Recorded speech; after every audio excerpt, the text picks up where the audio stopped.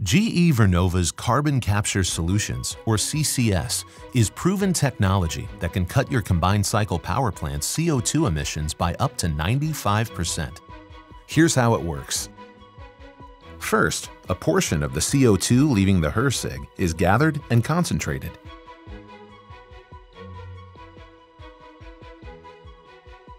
Next, the gas is cooled so the CO2 can be absorbed by the capture solvent.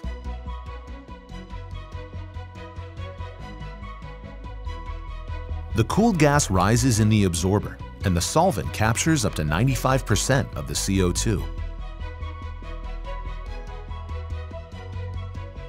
The captured CO2 and solvent are heated using steam from the steam turbine. This results in pure CO2 which is collected, and the solvent is recirculated.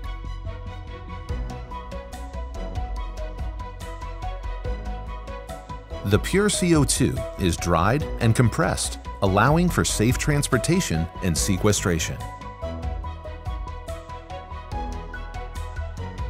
Critical to the CCS process is GE Vernova's integrated control of the exhaust gas recirculation system, CCS plant, and the combined cycle plant. Upgrades to the gas turbine, steam turbine, and HRSG reduce performance penalties associated with the CCS process. GE Vernova's carbon capture solutions are available. Our financial services team can help develop a successful capital plan.